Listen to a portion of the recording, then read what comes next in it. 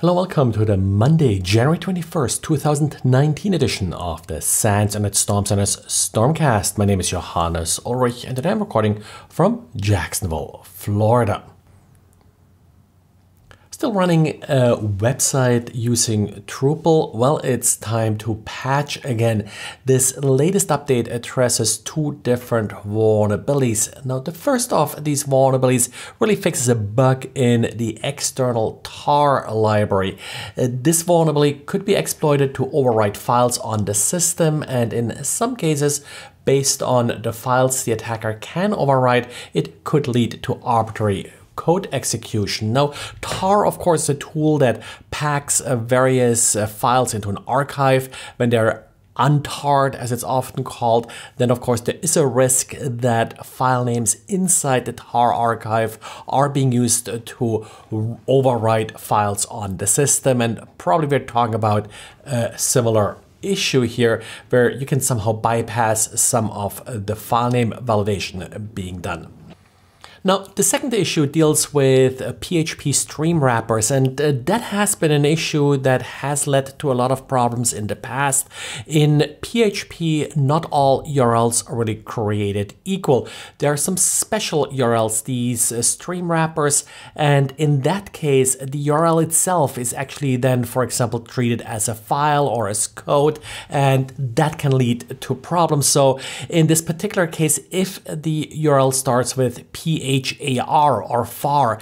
That means that the remainder of the URL is really a PHP code archive and that could be executed.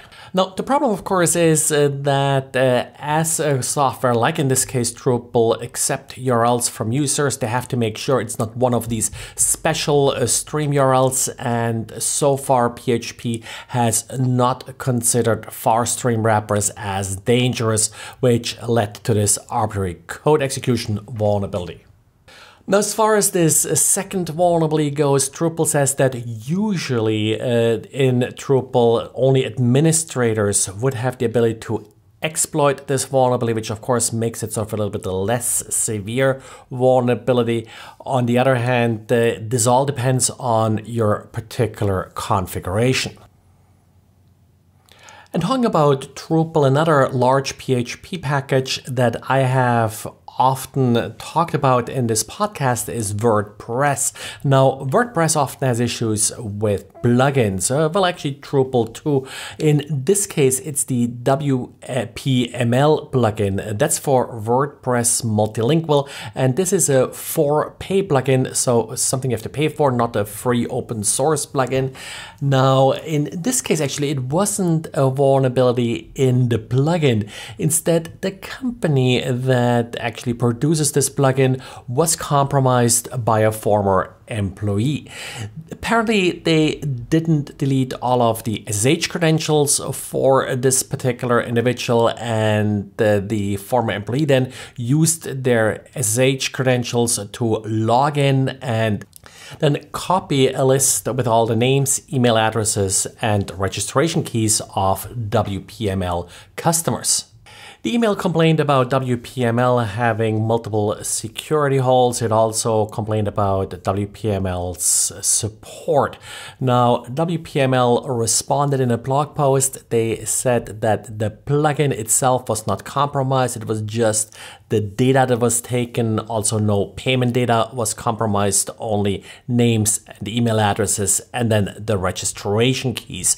Now, these registration keys, uh, the attacker could use them to download updates from the WPML website. However, they can not use them to cause any real damage to any customers. At least that's from WPML's blog post. And Palo Alto Networks Unit 42 has a detailed write up about a Trojan that they have seen in targeted attacks. In addition to using DNS for command control, which, well, is quite common, in this case, they actually use some interesting domain names that would easily be mistaken for, for example, Akamai or Microsoft domains. This uh, tool also uses Google Drive to exfiltrate data, and that's really sort of a tricky issue. These uh, cloud systems like you know Google Drive, Dropbox, uh, also a lot of sort of webmail systems are often being used for data exfiltration, and that's sort of a difficult hole to close unless you either outright don't allow access uh, to these websites or you do some HTTPS interception, which tends to be difficult, in particular with Google properties, where, for example, Google Chrome has uh, does a lot of additional certificate validation.